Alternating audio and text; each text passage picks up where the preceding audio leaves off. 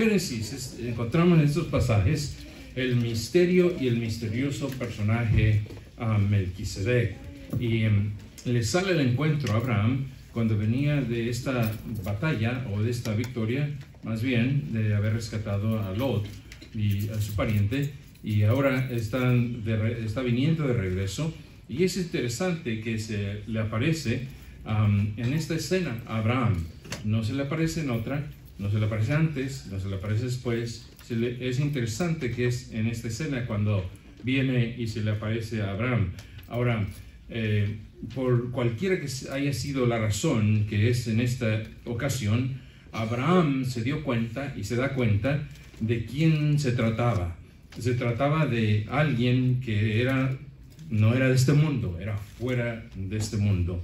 Era alguien este, especial. Se trataba del sacerdote del Dios Altísimo, dice el versículo 18. ¿Están ahí? Versículo 18. Entonces Melquisedec, rey de Salem y sacerdote del Dios Altísimo.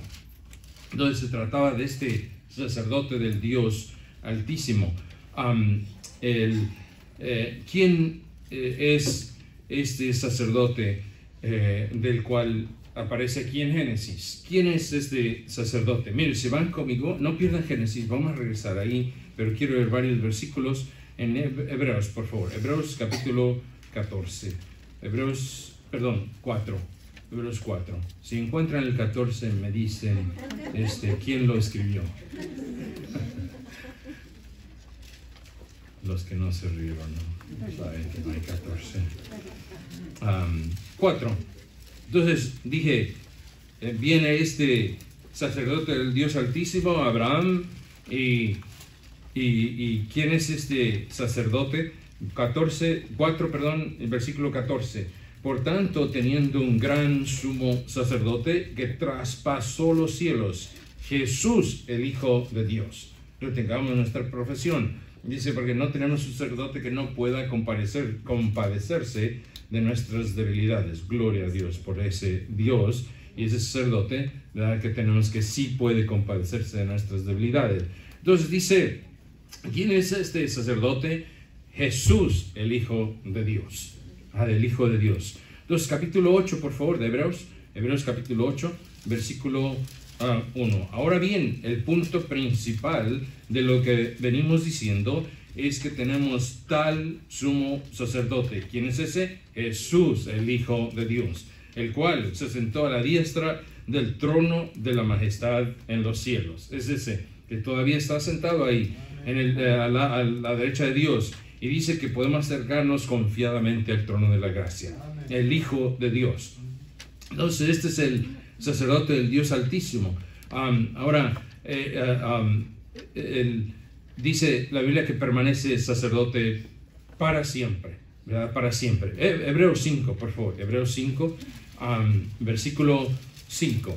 Hebreos 5, 5. Así tampoco Cristo se glorificó a sí mismo, haciéndose sumo sacerdote sino el que le dijo, tú eres mi hijo, yo te he engendrado hoy, y como también dice en otro lugar, tú eres sacerdote para siempre, según el orden de Melquisedec. Entonces, otra vez estoy eh, diciendo que este es, el sacerdote del Dios Altísimo, le sale a Abraham, y ahora encontramos en Hebreos que Dios lo pone en su Biblia y que dice es Jesús el Hijo del Dios Altísimo va y dice, permanece sacerdote para siempre, según el orden de Melquisedec, ¿verdad? Vamos a regresar a Génesis. no, no, ¿sabe qué? Vamos a quedarnos ahí en, el Hebreos. Entonces, este, ¿por qué según el orden de Melquisedec? ¿Por qué según su orden no era el orden de Aarón y de los sacerdotes? Entonces, ¿quién es este Melquisedec? ¿Quién es este, otra vez, misterioso personaje? Capítulo 7, por favor, de Hebreos. Hebreos capítulo 7. Hebrews 7. Hebreos 7. Estoy practicando mi inglés. Ah, Hebreos 7, versículo 1. Dice, porque este Melquisedec, rey de Salem, sacerdote del Dios Altísimo. ¿Quién es ese? El Jesús, el Hijo del Dios, de Dios. que salió a recibir a Abraham, que volvía de la derrota de los reyes, y le bendijo. versículo 3 sin padre, sin madre, sin genealogía, que ni tiene principio de días, ni fin de vida, sino que hecho semejante al Hijo de Dios, permanece sacerdote para siempre. Entonces, este, ¿quién es este Melquisedec? Este misterioso personaje es, eh, dice, es el sacerdote del Dios Altísimo, es Jesús, el Hijo de Dios, y que dice, sin genealogía, ni tiene principio de días, gloria a Dios, siempre ha existido, nuestro Dios, nuestro Salvador, dice ni fin de vida, ¿verdad? Desde nuestro Dios vive para siempre y para siempre y para siempre. Ahora, versículo 4 dice, considera pues cuán grande es, era este que a quien aún Abraham, el patriarca, dio diezmos del botín. Ahorita voy a llegar a mi punto. Dice que dio diezmos del botín. Ahora, los diezmos se le dan solo a quién, solo a quién. A Dios, solamente a Dios, ¿verdad? Solamente a Dios se le da nuestro Dios y Salvador, Jesús, el Hijo de Dios, como dijo eh, Hebreos, como dijo Dios en su Biblia, no llegó a existir cuando llegó a este mundo eh, eh, nuestro Salvador. No llegó a existir cuando nació de la Virgen María, como dicen algunas religiones, y no quiero nombrar el nombre de la religión para no ofender a los católicos. Oh, ya la dije, ¿verdad? Este, no nació, no empezó ahí, sino que ya existía, ¿verdad? Para siempre, ya no tiene fin de, principio de días ni fin de, ni fin de vida. Jesús, el Hijo de Dios. Ahora, sino que antes de Abraham dijo, yo soy, ¿verdad? Juan 8, 58. Antes que Abraham fuese, yo soy, dijo Jesús, el Hijo de Dios. Y Abraham dio los diezmos de todo. Dice, porque eh, en, en forma corporal se dio a conocer a Abraham en el Antiguo Testamento. No, no era que nació y vino a existir, no, sino que ya existía. Y ahora en forma corporal viene Abraham, el Todopoderoso, Jesús, el Hijo de Dios, que era sacerdote del Dios Altísimo. Vamos a regresar a Génesis 14, versículo 18. Dice, entonces Melquisedec, rey de Salem, sacerdote del Dios Altísimo. Algunos dicen que fue un rey, que era un rey de ahí del área, de ese valle de Salem era un hombre, ¿verdad? Eh, no puede ser un hombre porque dice sin genealogía, no, sin, sin madre y sin padre, ni principio ni fin de vida, de vida. Algunos dicen que era Sem, el hijo de eh, Noé, el, el, mayor, ¿verdad? Y hay una teoría, no sé de dónde sacan eso, ¿verdad? Este, pero eh, Sem murió y, y, y tenía, era un hombre que tenía padre y madre, ¿verdad? Entonces este no tiene padre y madre, eh, eh, Melquisedec, dicen algunos que era simplemente una persona, un rey ahí, eh, pero no, este, está hablando, Abraham sabía de quién se trataba. No se trataba simplemente de un hombre. A un hombre no le va a dar Abraham, el padre Abraham, los diezmos, ¿verdad? Los diezmos se le dan al Señor. Pero no fue simplemente un rey, sino fue rey de paz, rey de Salem y dice sacerdote del Dios Altísimo. No perdieron Hebreos, ¿verdad? Hebreos 7, versículo 2. Es a quien asimismo dio Abraham los diezmos de todo, cuyo nombre significa primeramente rey de justicia y también rey de Salem. Esto es rey de paz. Rey de justicia y rey de paz. Esos son los atributos eh, los títulos que tiene nuestro Dios y Salvador, el Señor Jesucristo, Rey de paz. Y se acuerdan, antes de conocer a Cristo, ah, la, por más que se buscaba la paz, no había paz, ¿verdad?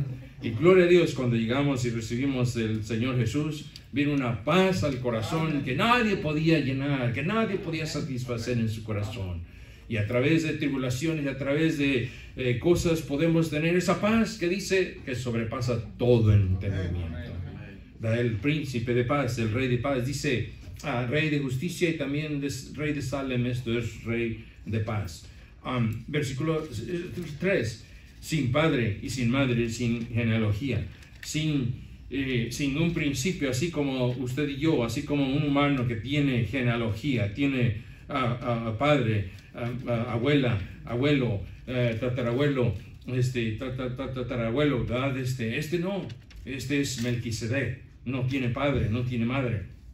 Pero este Cristo en el Nuevo Testamento es el Melquisedec del Antiguo Testamento.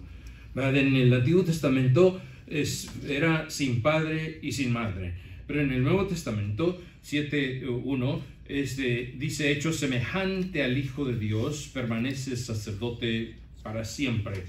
Semejante al Hijo de Dios. Ahora, el título Hijo de Dios um, llegó a existir o llegó a eh, crearse o llegó a, como dice, engendrarse el nombre, no el ser, el nombre, llegó a existir cuando Ah, nació con la Virgen María, el nombre Hijo.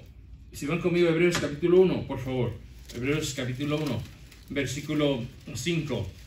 Porque a cuál de los ángeles dijo Dios jamás, mi hijo eres tú, yo te he engendrado hoy. Ah, y otra vez, yo seré el Padre y él me será a mi hijo. Entonces, Dios no está diciendo, yo creé, como los falsos testigos de Jehová dicen, ahí Dios creó a Jesús. No, eh, ahí engendró a Jesús. No, engendró el nombre, no al, al ser. Dijo, porque el ser que estaban haciendo como hijo, dijo Dios Todopoderoso, yo voy a ser a el Padre y él va a ser a mi hijo. O sea, es la misma persona. El, nombre nació ahí, espero que me entiendan. Entonces, usted, Dice Hebreos 7.3, hecho semejante al Hijo de Dios. Ahora, ¿por qué hecho? ¿Por qué dice hecho? Porque ah, tuvo que hacerse, tuvo que hacerse él, así como, como un humano. Tomar una forma humana para salir a ver a Abraham. Vamos a regresar otra vez a, a Génesis. Entonces tuvo que hacerse de una forma corporal para este, tomar la forma eh, corporal y salir a ver a Abraham. Entonces, ¿quién es este misterioso Melquisedec? Jesús, el Hijo de Dios. Cristo en el Nuevo Testamento y Melquisedec en el Antiguo Testamento. No hay duda que es Cristo, que es el Señor Jesús, es el Hijo de Dios. No hay duda de eso, dice Hebreos 7, 6 y 7. Entonces ahora, Hebreos fue escrito a, aquellos que estaban dudando del, Cristo, del Mesías, del, Hijo de Dios, aquellos que eh, solo seguían a Padre Abraham, solo seguían a Padre Abraham y no podían concebir que ah, hubiera alguien mayor que Padre Abraham. y, dice, eh, eh, nos dice Hebreos, ¿cuál es el versículo? 7.4, Hebreos 7.4, y sin discusión alguna, el menor es el, ah, no, ese no es el versículo, es el versículo 20, eh, ah, se me perdió. Sin discusión alguna, el mayor es bendecido ah, por el, el menor es bendecido por el mayor. Ah, se me... 7, 7, 7. Y sin discusión alguna, el menor es bendecido por el mayor. ¿Quién era el menor? El que fue bendecido, ¿verdad? Entonces, ¿quién era el menor? ¿Quién bendijo a quién? Melquisedec bendijo a Abraham. Entonces, el mayor, ¿quién es? Melquisedec. Entonces, el mayor es el Hijo de Dios, no Abraham. Y esta gente eh, seguía a Padre Abraham, el único, y no pensaban que había algo mayor, más grande que él y Dios, por eso, más adelante en Hebreos, Dios pone su Biblia, sin discusión alguna, el menor es vencido por el mayor, refiriéndose a Melquisedec en Génesis 14. Ahora sí vamos a regresar a Génesis 14. Entonces, Génesis establece, hermanos, Génesis está estableciendo que Melquisedec es Cristo, es en forma corporal, es el Salvador, que es superior a Abraham, que es superior a Abraham el que nadie, eh, los judíos no pensaban que alguien podía ser mayor que Abraham. No, el Génesis establece que Melquisedec es mayor y en el Nuevo Testamento es Jesús. Eh, Hebreos nos declara que es mayor que Abraham, mayor que cualquier otro patriarca, para, ah, este, para que cuando ah, más adelante haya dudas se refieran a Génesis 14, que, que Dios ya lo había establecido. El, el menor es bendecido por el mayor, ¿verdad? Espero que me entienda. Ahora, entonces lo para que aclare es de Génesis 14. Versículo 19. 14, 19. Yo sé que estoy corriendo porque el tiempo se me fue. Y le bendijo diciendo, bendito sea Abraham del Dios altísimo, creador de los cielos y de la tierra. Entonces, Dios, eh, eh, eh, Melquisedec, el que ya existía sin padre ni madre, Jesús, el Hijo de Dios, en el Nuevo Testamento, viene y bendice a Abraham, al menor. Dice, bendito sea Abraham del Dios altísimo. Ahora, le da su bendición, le da bendición a Abraham y luego dice que Abraham, versículo 20, um, y bendito sea el Dios altísimo que entregó sus enemigos, eh, tus enemigos en tu mano, y luego noten lo que hace, y le dio a Abraham los diezmos de todo. Wow, el menor le da los diezmos al que le pertenecen, que es Dios, ¿verdad? De una manera corporal. Ahora, entonces, ¿quién es este misterioso Melquisedec? Es en el Antiguo Testamento, sin genealogía, sin padre y madre, y en el Nuevo Testamento es Melquisedec en el Antiguo Testamento, pero en el Nuevo Testamento es Jesús, el Hijo de Dios, porque es sacerdote del Dios Altísimo, ¿verdad? Entonces, ¿qué hizo Abraham cuando tuvo victoria y tuvo botín y tuvo bendición? Ah, ah, dice, y le vino, salió Melquisedec. ¿Qué hizo Abraham cuando se encontró con Melquisedec? este, bueno, número uno, este, le dio los diezmos, ¿verdad? Se encontró con Melquisedec, alguien que sabía quién, de quién se trataba, le dio los diezmos. Lo que todo cristiano debe hacer con Cristo, ¿verdad? Dale los diezmos, porque Él es el Todopoderoso, Él es el, el que siempre ha existido, Él es el que cuando alguien se encuentra con Él, eh, debe darle lo que le pertenece a Él, ¿verdad? Los diezmos, así como Abraham lo, hizo. Y no solo, hermano, no solamente los diezmos de dinero, sino los diezmos de todo, de todo. Abraham que dio del botín, eh, Abraham dio de todo. Entonces, no solamente los diezmos de, su dinero, sino el diezmo del tiempo, el diezmo de su vida, lo primero de todo. Ahora, todo el tiempo los predicadores hablan del dinero y el dinero, ¿verdad? Pero otros, eh, bueno, muchos predicadores también dicen que el diezmo también es del tiempo. Eh, Dios nos dio siete días, uno es del Señor. Eh, el primero de la semana es del Señor. El tiempo eh, de su vida eh, también usted debe darle el diezmo al Señor. ¿Por qué? Porque es el, es el Jesús, el Hijo de Dios, el, sacerdote del Dios Altísimo, que le pertenece los diezmos. Diezmo de su tiempo también. Entonces dio los diezmos a Abraham. Este, número dos, ¿sabe qué pasó cuando Abraham se encontró con Melquisedec? Ah, este, tuvo comunión con él. Versículo 18, están en Génesis 18, 14, 18. Entonces Melquisedec, rey de Salem, sacerdote del Dios Altísimo, sacó pan y vino. Y es la primera vez que se menciona eso, pan y vino. Y eso representa cuando alguien invita a su mesa, a su casa, y dice, hey, te ofrezco un cafecito, hey, te ofrezco una concha, hey, te ofrezco un, chocolatito, hey, te ofrezco, ¿va? Y es una comunión, es algo especial cuando se sienta con una persona así. Eso es lo que representa, es lo que representa lo que Abraham tuvo con Melquisedec. Hubo una comunión. Es más, tenía Abraham una comunión con Dios que Dios se dignó a tomar una forma corporal y venir a encontrarlo. Ahora, ¿por qué en esta escena? ¿Por qué en, este tiempo? No, no sé, no tengo la respuesta.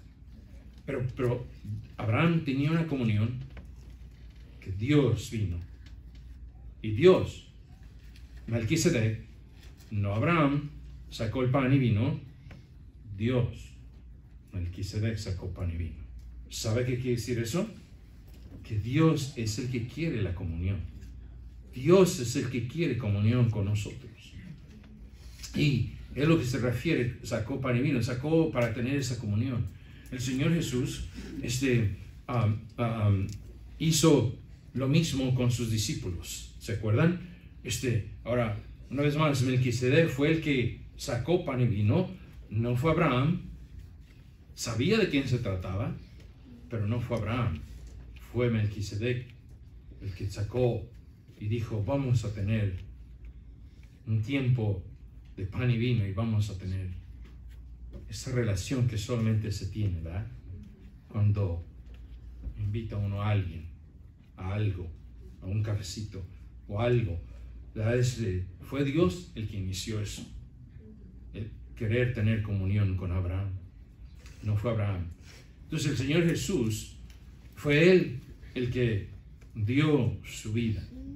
Fue Él el que sacó esa escena, que eh, eh, en esa última cena, que representaba, dijo, esta copa es la sangre, y que era en la copa, era vino.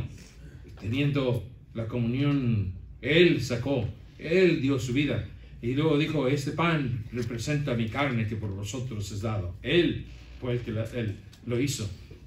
Fue Él el que decidió. Ah, en 1 Juan 4:19 dice, nosotros le amamos a Él porque Él nos amó primero. Él nos amó primero. Y sigues todavía en la vida cristiana. Él es el que quiere amarnos. Él es el que quiere tener comunión con nosotros. Pero nosotros estamos egoístas en el teléfono, en esto, en lo otro, en lo otro. Y Dios es el que Él es el que quiere sacar el pan y vino. Él es el que quiere tener la comunión este, con nosotros dice, le amamos a Él porque Él nos amó primero. Entonces Abraham tuvo esta comunión con Dios que nadie más la tuvo. Abraham tuvo esa cercanía con Dios que nadie más tuvo. Interesante, ¿verdad? Que Lot estaba con Abraham. Lot estaba con Abraham. Y la Biblia no dice absolutamente nada de Lot. Y eso es tan triste, hermanos, que hay hogares, hay matrimonios, hay, no sé, la esposa tiene esa comunión con Dios, el esposo tiene esa comunión y, el otro no. Está como en lo. Hay algunos padres que tienen una comunión con Dios y sus hijos no. Está como en lo. Dios quiere tener esa comunión. No solamente con Abraham, con Lot también pero Lot decidió no. Pero Abraham sí tenía esta comunión que, una vez más, esta cercanía con Dios que se dignó a tomar una forma corporal. Eh, esa cercanía con el Señor literalmente les sale el encuentro. Miro, si van conmigo a Juan, por favor, Juan capítulo 8. Juan capítulo 8.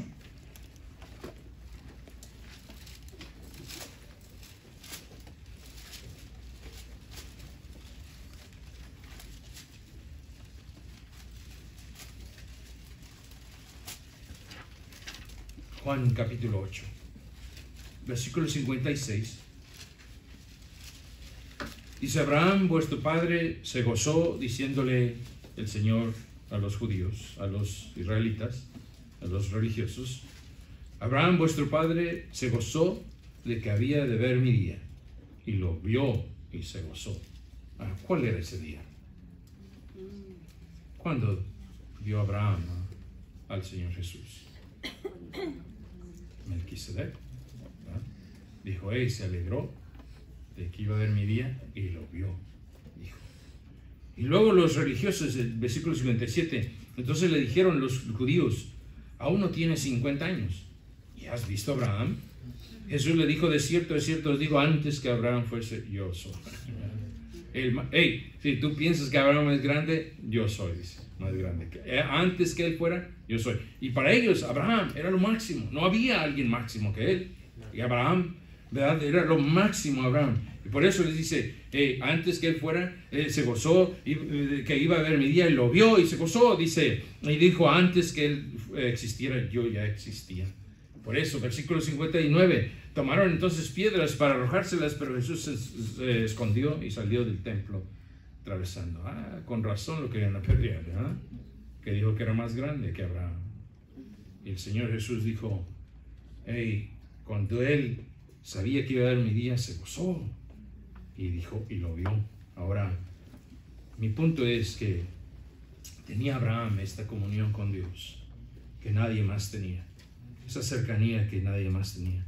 Lo vio, dice, tuvo esa comunión con, con el Señor, sacó pan y vino, fue de Dios. Fue Él el que sacó el pan, fue Él el que inició, fue Él el que tenía el deseo. Por eso, ahora por eso los judíos estaban tan indignados de que alguien se hiciera mayor que Abraham. Y el Señor Jesús dijo antes que Él fuera yo soy. Ahora, los judíos eran tan adoradores y tan, eh, eh, eh, iba a decir, fanáticos, aficionados a Abraham, ¿verdad? No había alguien mayor que él. Por eso cuando vino el Señor, lo rechazaron, porque se, se, se dijo que era alguien mayor que él. Le tumbó lo que ellos adoraban, le tumbó lo que era supuestamente para ellos lo más grande. 8, Juan 8, por favor, versículo 39. Respondiendo, él les dijo, nuestro padre, respondieron eh, eh, y le dijeron, nuestro padre es Abraham. Jesús le dijo, perdón, ah, vamos a ir al, al 31, perdón. Al 31. Dijo entonces Jesús a los judíos que habían creído en él, si vosotros permanecéis en mi palabra, seréis verdaderamente mis discípulos y conoceréis la verdad y la verdad os hará, libres. ¿Quién es la verdad? Jesús, ah, del Hijo de Dios. 33 le respondieron, linaje de Abraham somos y jamás hemos sido esclavos de nadie. ¿Cómo dices tú, seréis libres? Ah, versículo, ah, ahora sí, versículo 39. Eh, respondieron le dijeron, nuestro padre es Abraham. Jesús le dijo, si fueseis hijos de Abraham, las obras de, de Abraham haríais. Dice, sí, pero, 40, pero ahora procuráis matarme a mí, hombre que os he hablado la verdad, la cual he oído de Dios. Noten, noten, no hizo esto Abraham. Del versículo 39 dice, si fueres hijos de Abraham, las obras de Abraham haríais. Ahora, ¿cuáles fueron esas obras que Abraham hizo acerca de, del Señor Jesús? Eh, cuando vio el día de Melquisedec y se gozó. ¿Cuáles fueron esas obras que hizo Abraham? Tuvo esa comunión con Dios y luego dijo, todo lo que tengo, de todo lo que tengo, los diezmos te doy. Tuvo esa comunión con el Señor. Esas son las obras de Abraham de las que está hablando el Señor. Entonces, quisiera tener más tiempo, se me fue el tiempo. Hermano, Abraham era una persona humana. No tenía una Biblia como usted y yo. No tenía libros que animaban y decían, ten una comunión con Dios. Pero tuvo esa comunión con Dios tan especial que cualquier cristiano la puede tener cualquier cristiano la puede tener. Porque Abraham, ya el Señor dijo, que antes que Abraham fuera, yo soy. O sea, es un humano, igual que usted y yo. Entonces, podemos tener esa comunión. Si apagáramos tantito aquí y allá, y le diéramos otros dos, tres minutos a la Biblia, pudiéramos tener esa comunión de la cual Abraham este tú. ¿Y quién es el que desea más esa comunión? Él. Él más que todos la desea. Vamos a orar. Gracias, Señor, por esta tarde. Señor, bendice en esta corta lección. Señor, te pido que nos ayudes. Señor, yo sé que hay algunos aquí, Señor, hay algunos jóvenes que deberían decir, yo quiero, yo quiero conocer a Dios, yo quiero saber de esa comunión de la cual hablan no, no, no, no, no entiendo muy bien. Señor, te pido que hay algunos aquí que determinen su corazón. Señor, yo quiero esa eh, comunión, Señor, esa cercanía con Dios. Que nadie me diga cómo tenerla, eh, cómo la han tenido, sino que yo sepa cómo se puede tener. Señor, bendice, por favor. Mientras el piano toca solamente un minuto, yo sé que estamos corriendo tarde. Eh, ¿Qué comunión tiene usted con, con Dios? ¿Por qué Abraham tenía que era grande? El Señor testificó las obras que él hizo. Lo vio y se regocijó. Lo vio y se gozó. David dijo, yo me alegré con los que me decían, a la casa de Jehová iremos. Eso debería ser un gozo, un anhelo. Querer pasar más tiempo con Dios, con su palabra, en la iglesia,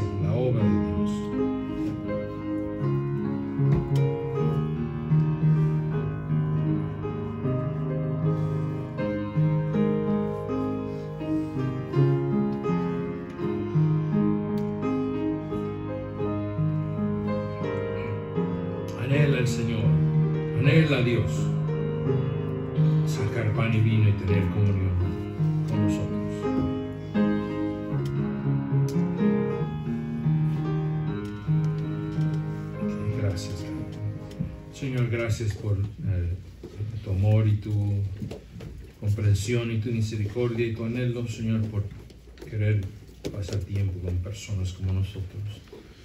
Señor, perdona nuestro ego, perdona nuestra falta de atención. Señor, ayúdanos, por favor. Señor, te pido que en Norwest ay- eh, ayudes a cristianos a crecer espiritualmente de tal manera que alguien pueda decir, oh, qué comunión tienen los cristianos con Dios, Señor. Te pido que bendigas, por favor, ayúdanos a hacer decisiones, Señor, que beneficien nuestras vidas, Señor. Te pido por los jóvenes aquí, Señor, tanto ataque tienen del diablo, Señor, que revisen y vean, Señor, el poder que hay en, en Dios, el- Señor, la comunión que puede haber, la victoria que puede haber en Cristo. Bendícete, lo suplico, Señor, en el nombre de Cristo. Amén y amén. Amén.